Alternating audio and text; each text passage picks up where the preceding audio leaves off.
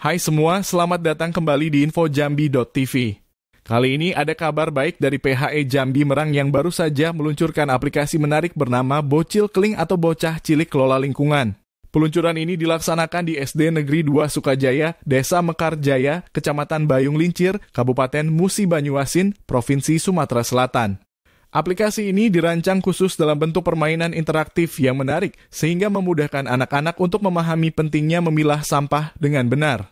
Melalui peluncuran aplikasi Bocil Keling ini, PHE Jambi Merang menunjukkan komitmennya dalam mengembangkan pendidikan dan kesadaran lingkungan di masyarakat.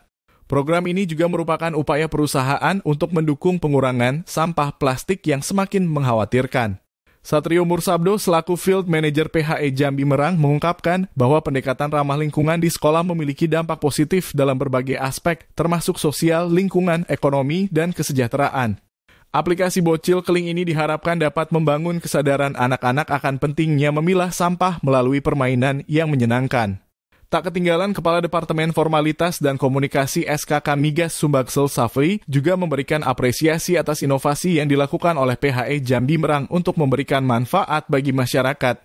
Dengan adanya aplikasi ini diharapkan anak-anak di sekolah dapat belajar memilah sampah dengan baik serta memperoleh pengetahuan mengenai pentingnya daur ulang sampah. Mari bersama-sama peduli dan berkontribusi dalam menjaga kebersihan lingkungan kita.